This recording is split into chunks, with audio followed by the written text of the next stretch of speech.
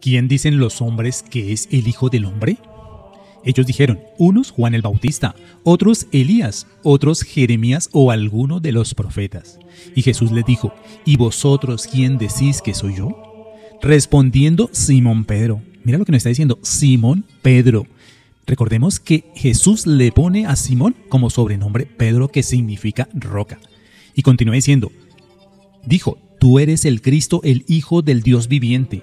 Entonces le respondió Jesús, bienaventurado eres Simón. No le está diciendo Pedro, le dijo Simón, hijo de Jonás, porque no te lo reveló carne ni sangre, sino mi Padre que está en los cielos. Y escuchar muy bien lo que sigue. Y yo también te digo que tú eres Pedro, que significa roca. Y sobre esta roca edificaré mi iglesia. Uno está poniendo a Pedro como cabeza de la iglesia. Y nos continúa diciendo, y las puertas del Hades no prevalecerán contra ella. Que nos dice que nada, absolutamente nada podrá destruir la iglesia que ha creado Cristo.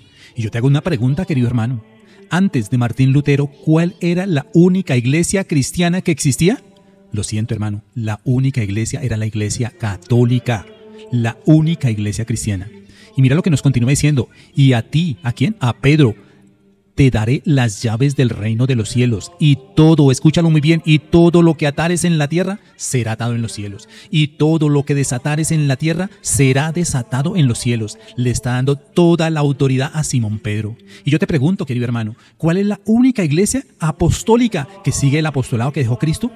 Te cuento, la Iglesia Católica y tiene como representante y sucesor de Pedro al Santo Papa.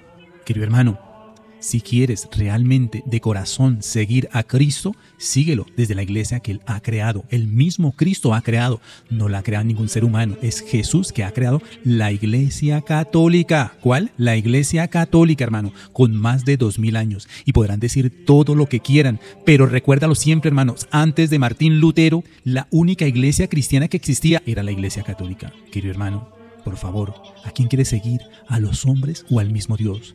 Mira lo que estamos mirando de las sagradas escrituras, hermano. ¿No dices que si te lo demostramos por la medio de la palabra tú lo vas a creer? ¿Qué pasa?